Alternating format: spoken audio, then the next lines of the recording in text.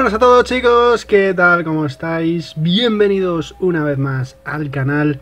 Hoy toca vídeo de pintura y de conversión, porque esta figura eh, ha sido una compra que me venía un lote chusta, y ha pasado de, de chusta, chusta pura, a pues esto que veis, que tampoco es que sea aquí la octava maravilla, pero se deja ver.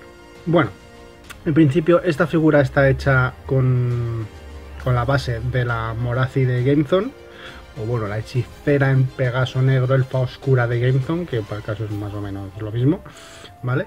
Y, nada, pues me venía en un lote mierdoso, el caballo venía sin alas, la mujer venía calva, porque es que la figura es calva, y le vi potencial, dije, esto, eh, esto puede, puede ser algo, esto puede estar guay, hay que darle amor, pero puede estar guay. Entonces dije, pues para mi hechicera nivel 2 porta dos pergaminos de dispersión en, caballo, básicamente, o en unicornio o en lo que sea. Bueno, eh, lo que hemos hecho ha sido principalmente trabajar con masilla y ponerle piezas, ¿vale? Eh, masilla, el pelo está hecho todo de masilla. Eh, me han salido una especie de rastas que no queda mal. La he hecho pelirroja, por supuesto, porque es que además contrasta súper bien con el blanco y con el verde. El naranja queda súper bien. Y, no sé, me imagino así a una elfa silvana, la verdad, no sé por qué me la imagino pelirroja, una, una maga, ¿no? Bueno, eh, luego, a ver, cosas que hemos hecho con masilla. El pelo, ¿vale? El, la liana que le sale del brazo, así, y que le salen así como dos mmm, pinchos de, de, de, liana, de hierba, no sé. Pues todo eso también está hecho con masilla. Las correas, ¿vale? Porque como le hemos puesto dos escudos, hay uno ahí y otro al otro lado, que es un escudo del kit de, de jinetes de Kurnus o de las hermanas de la espina de, plástico, ¿vale? Pues como tenía dos cajas y en una va a ser para, hermanas y otro para jinetes, pues los escudos de la parte de hermanas pues me sobraban, cinco. Entonces pues los hemos puesto ahí porque la verdad es que queda bastante bien, lo hace un poquito más acorazado, tiene el símbolo de los silvanos ahí y bueno, le, le queda guay. Entonces, eh, para unificarlo un poco con el resto de la figura, le hemos hecho correas de masilla, que son esas que veis ahí. Y qué más, qué más. Mm, bueno, aparte del pelo, eh, todo el tema del báculo, porque esta figura no lleva báculo, no lleva, va con la mano como al aire, ¿no? Pues le hemos puesto la parte de arriba de lo de las hermanas de la espina y todo eso, eh, la liana que le sale de las manos, pues una enredadera, una cosa así, está hecho con masilla también. Y creo que no me dejó nada. Lo único bueno, tiene dos piezas del kit, también las hermanas, que son esas cosas de ahí. Que le hemos hecho una especie de tiara, porque la figura lleva una especie de medio máscara por un lado, que le, que le, le recubre por detrás de la cabeza. Es una cosa un poco extraña. Tiene eh, como por la frente, por detrás y por el lado izquierdo de la cara, que según lo estáis viendo es el derecho, tiene una especie de máscara, una cosa así rara. Entonces, eh, pues se lo hemos eh, alargado, digamos, con estas dos chismitas de aquí y lleva una especie de corona élfica rara. Bueno, no sé lo que me ha salido.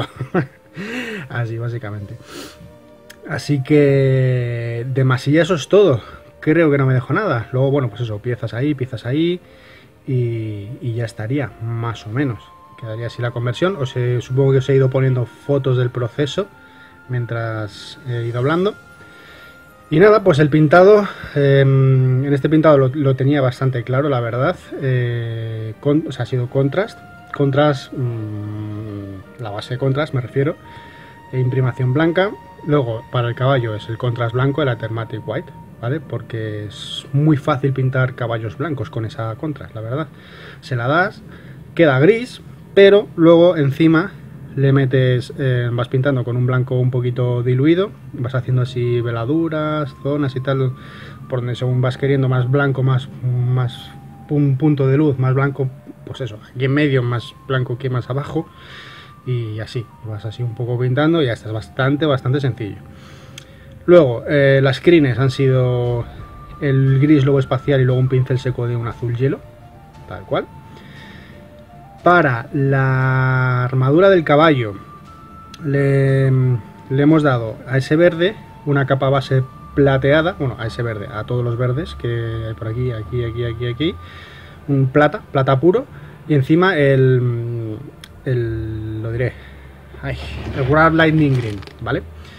Eh, encima del War Lightning Green y, ya está. Lo que pasa que luego, para veis que tiene como unos toques ahí de en los puntos máximos de luz, tiene como un verde más clarito. Ahí le hemos pegado con un poquito de aerógrafo con un, con un verde bilis, con el verde bilis que uso tanto de Vallejo, ¿vale?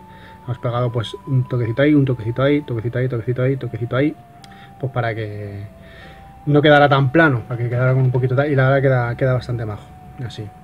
Aprovechando que he tenido que usar el aerógrafo para hacer la peana, porque bueno, ya le he explicado mil veces cómo se hacen estas peanas, no lo voy a explicar otra vez. Pero aprovechando que tenía el verde bilis en el aerógrafo cargado, mm, digo, le voy a meter unos puntitos de luz a esto que va a quedar, que creo que va a quedar guay. ahí, lo hemos dejado. Luego, eh, bueno, hemos bordeado toda la mm, parte de la armadura eh, que va con dorado, pues hemos pintado con dorado, el Reikland de lavadito y luego hemos perfilado con, con un dorado clarito y ya está, sin más, no tiene, no tiene mucha ciencia. El cuerpo de la señora, que aquí viene lo interesante. Pues el cuerpo de la señora es básicamente eh, Gilliman Flesh.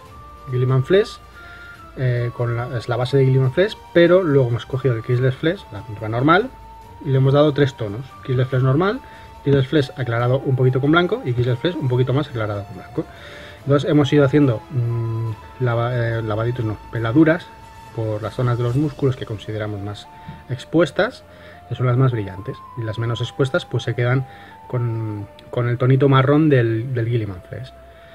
Y básicamente es eso, es trabajarlo, dar un poquito de tal y ya está. Luego los verdes, es pues como os he explicado otras veces, los verdes de la ropa, eh, no tiene mucha ciencia, es un verde... Yo uso los Colors of Nature de, de Scale, que os he contado ya en otros vídeos, pero valen cualquier tonalidad de verde, en verdad vais cogiendo el verde y lo vais aclarando por cada vez una zona más pequeñita de un verde más clarito y ya está. No tiene, no tiene mucha ciencia. Y nada, pues la peana lo de siempre, pintura texturizada, lavado con un verde oscuro de Vallejo, una tinta verde de estas, luego un pincel seco marrón clarito y luego hacemos los churretes con estas cositas que ya os he enseñado más veces en otros vídeos los splash gel de, Green Staff, que para mí es un inventazo. Ah, bueno, y también como veis se lo hemos puesto en el cuerno al, al bicho. ¿Por qué se lo he puesto ahí? Porque venía roto. Como os he dicho, esta figura era una chusta y el cuerno venía roto. Entonces, eh, para que no quedara roto, en un principio la idea que tenía era alargárselo con masilla, ponerle una lanza o algún rollo, pero no, no me terminaba de convencer y quedaba un poco, digo, va a quedar raro.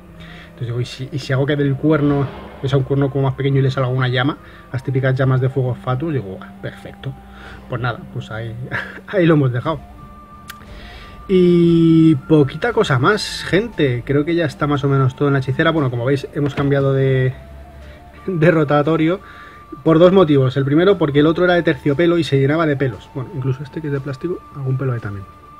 Porque tener gatos en casa es lo que tiene y era muy coñazo estar limpiándolo porque no salían esos pelos y se, veían en los vídeos y quedaba muy mal.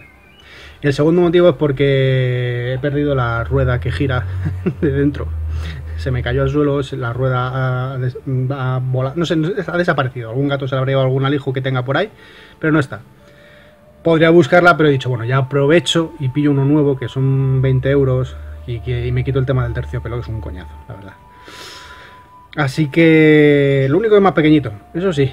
Cuando tenga un regimiento grande no sé cómo lo voy a hacer para ponerlos bien. Ah, no sé, ya, ya meditaré. En fin chicos, pues nada, esto es la hechicera, eso sí, bueno, como veis, mm, va con los pechotes al aire. Espero que YouTube no censure esto. Supongo que no, es un muñeco. Pero yo qué sé. Mm, ya me espero cualquier cosa la figura es así, o sea, y no le iba a hacer un sujetador ni nada. Y sé que las elfas silvanas son más recatadas que esto, pero me daba, me molaba el aspecto salvaje de la tía. Para una elfa silvana también pegas. Una alto elfana, evidentemente una alta elfana, una elfa oscura, o oh, por supuesto que sí. Pero una elfa silvana, ¿por qué no? Si están entre medias, si son el equilibrio entre elfos silvanos, y, o sea, entre, entre altos elfos y elfos oscuros, pues el equilibrio son los elfos silvanos. Y se demuestra en sexta que el códex, en vez de tener el saber de hacer Loren, pueden elegir entre alta magia o magia oscura también porque no se ocurra en el códex, pero es una especie de demostración de que es el equilibrio o el punto intermedio entre los dos. pues ¿por qué no iba a ir con las tetas al aire? Es una mujer del bosque salvaje. Yo qué sé. Bueno, a que le guste bien y a que no, pues que no mire. En fin chicos, por mi parte esto es todo, espero que os haya gustado y nos vemos pronto en el siguiente vídeo. Muchas gracias por llegar hasta aquí. Os recuerdo que tenéis un montón de, de vídeos de pintura en la lista, tenéis lista de Warhammer, tenéis lista de Oldhammer, tenéis lista de review de White Darks, de Codes, un montón de cosas para que echéis un ojo si os apetece. Un besazo y hasta la próxima. ¡Chao!